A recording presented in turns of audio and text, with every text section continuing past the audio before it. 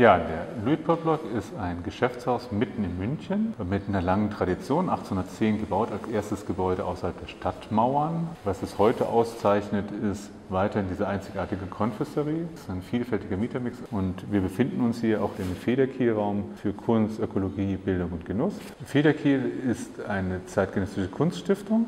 Wie man hier sieht, sieht man eine Arbeit von Thilo Schulz und mit dem Künstler und dem Architekt Kim Wortelkamp wollen wir das Haus stärker nutzen, also aus Luitpold-Block aktuell ein Open-Block zu machen. Viele dieser Dinge sind aber nicht so sichtbar, deshalb gibt es einen Bereich, den ich besonders auch freue, die Kooperation mit Polarstern. Da durften wir vor drei Jahren aufs Dach von Luitpold-Block, hier hinten sieht man die Frauenkirche, haben wir Solarzellen aufs Dach gebracht, um nachhaltig hier mit dem Haus umzugehen.